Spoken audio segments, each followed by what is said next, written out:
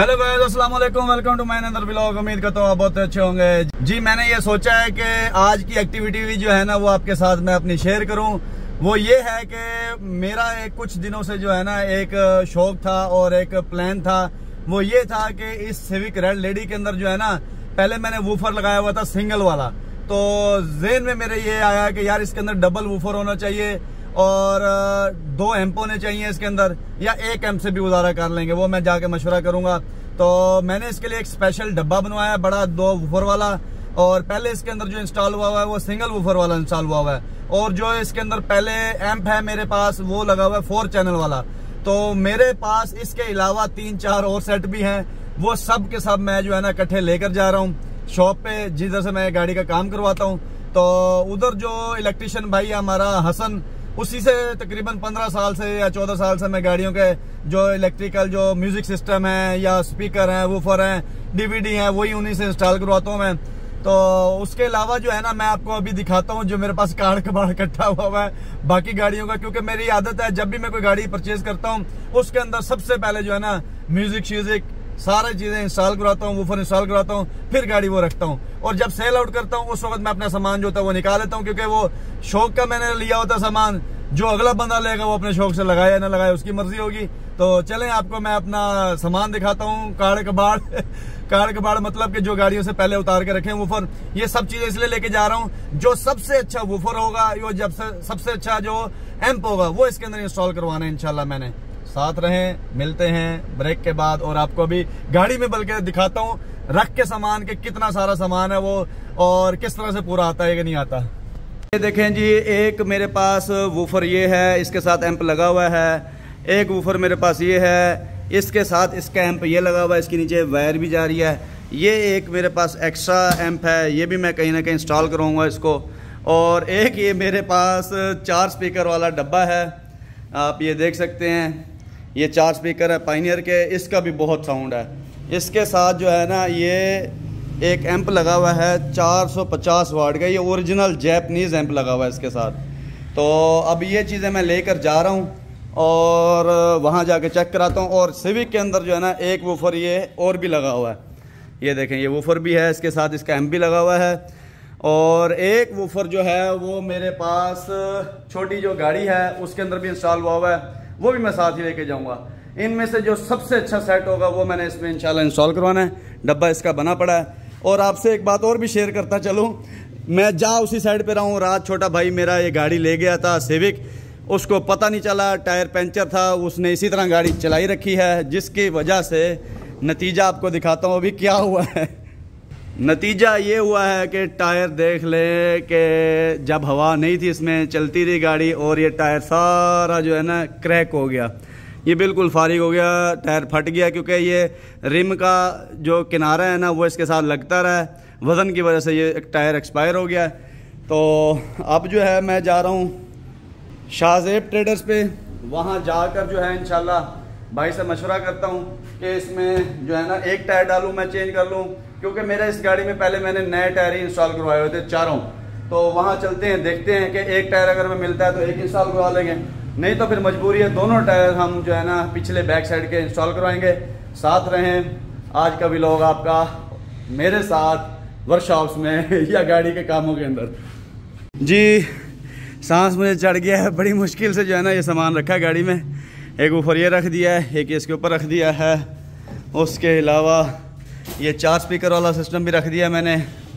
और अभी मैं जा रहा हूँ वर्कशॉप में हसन मोटर वर्कशॉप में।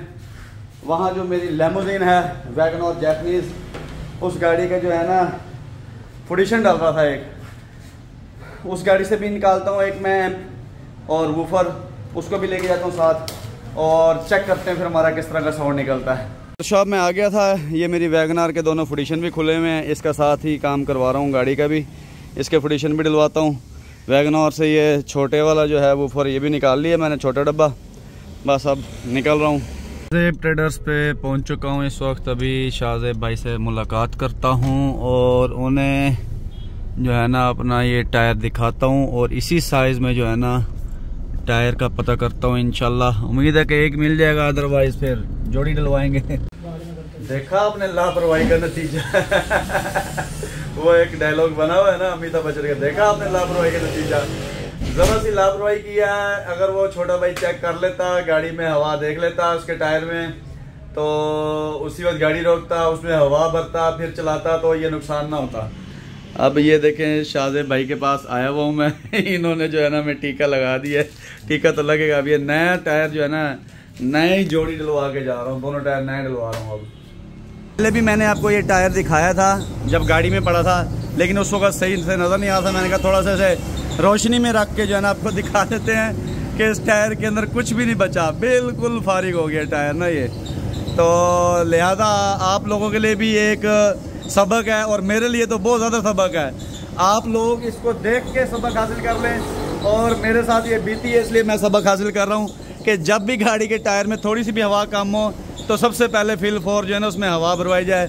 नहीं तो ये टायर बर्बाद और पैसे का नुकसान ज़्या और टाइम का भी ज़्या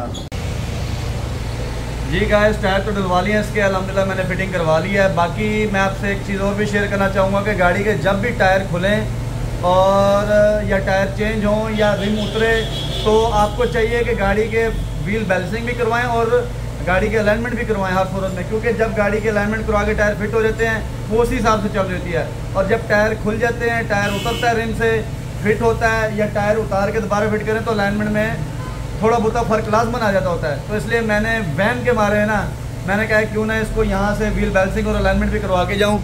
ये देखें जी कंप्यूटराइज इसकी अलाइनमेंट हो रही है गाड़ी की पहले व्हील बैलेंसिंग मैंने करवा ली है। पिछले टायर जो है ना, इसके डल चुके हैं अभी।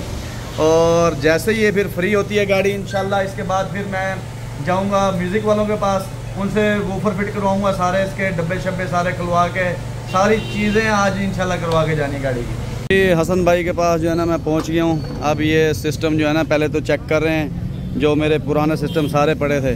इनको चला के चेक कर रहे हैं, जो सही होगा, वो वूफर और वो एम्प उतार के जो है ना दूसरे डब्बे पे लगा जाएगा। दो वूफर जो है ना, ये तो फिट हो गए हैं इस डब्बे पे। अब ये जो छोटा पड़ा है डब्बा, इस पर एक वूफर फिट होगा। और एक ये पड़ा है, इसकी भी कोई सेटिंग करेंगे। ये सारी चीज़ें जो है ना, मैं आज बिल्कुल सही करवा के जाऊँगा, इंशाल्लाह। जो जो चीज़ रखने वाली है वो रख लूँगा, जो नहीं रखने वाली, उनको रिपेयर करा के फिर रख लूँगा। सेल नहीं करूँगा, क्योंकि ये चीज़ें काम आती रहती है और दिन ब दिन के रेट जो है ना, वो चढ़ते रहते हैं रेट और ये पुरानी चीज़ें हैं, ये बड़ी पायदार हैं। ये ओरिजिनल जापानी चीज़ें रखी हुई है मैंने। वूफर तो दोनों जो है ना एक ही डब्बे पे इंस्टॉल हो गए हैं और फोर चैनल इसके साथ मैंने हेम्प लगाया है रॉक मार्स का।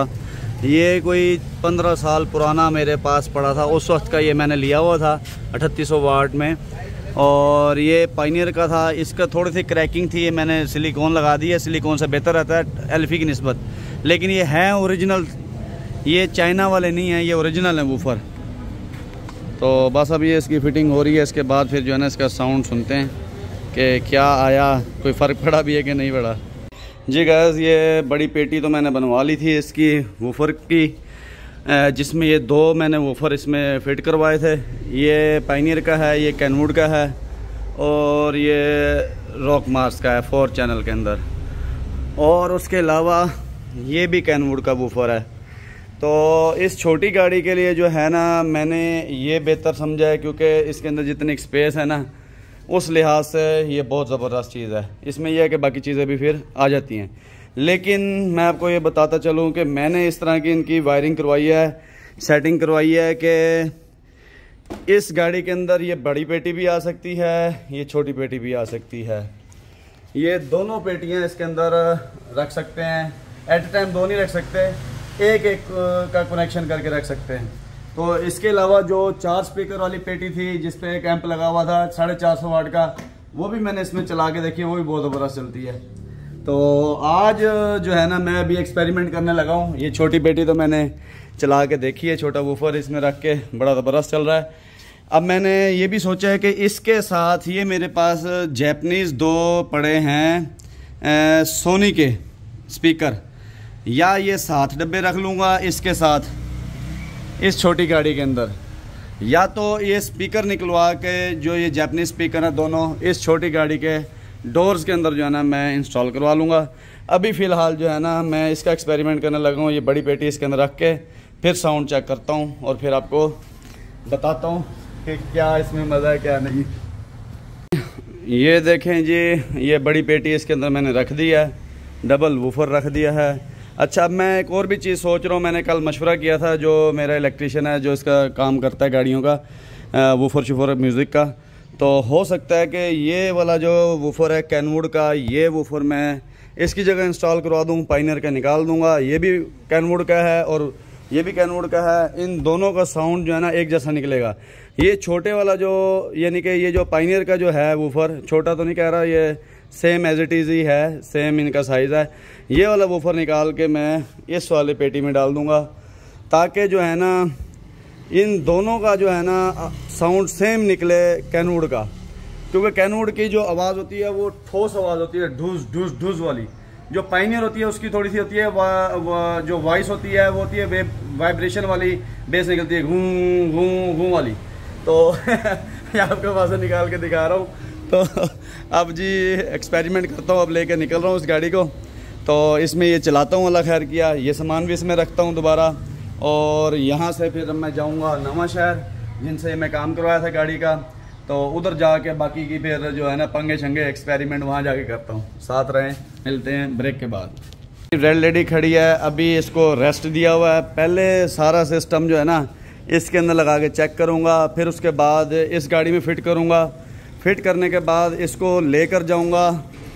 मार्केट में वहाँ जाके जो है ना इनशाला मेरा नेक्स्ट जो इरादा है, इसकी जो डिग्गी है ट्रंक बोलते हैं इसे, ये बहुत लाइट वेट होती है, खड़कती है। ये घूम घूम घूम करके आवाज़ आती है। तो इसके अंदर मेरा जो नेक्स्ट जो प्लान है, वो है डैम्पिंग शीट लगवाने का। इसमें दो उधर जो है ना डैम्पिंग शीट्स जो है ना, वो इंस्टॉल होंगी, जिसकी वजह से जो है ना, ये वाइब्रेशन करना छोड़ देगी। जी, इसमें ये लगाने के बाद तो वाकई पता चला है कि ये कोई चीज़ बन गई है, बहुत ही आला आउटस्टैंडिंग गाड़ी तो पूरी हिला के रख देता है ये। तो बस अब इसको उतार रहे हैं, उतार के जो छोटा वूफर है, उसको फिट करेंगे छा, साथ ही में जो है ना उसके ये जो छोटे स्पीकर मैं लेके आया हूँ, इसके अंदर से निकाल के दरवाज़ों में फिट करवा लूँगा इन तो मेरा ये वाला व्लॉग भी काफ़ी बड़ा हो गया है। तो अभी तो काफ़ी व्लॉग चलता रहेगा, दो दिन भी चलता रहेगा, गाड़ियों के काम ख़त्म नहीं होते। तो मेरे समझने में आज के इस व्लॉग का एंड करना चाहिए।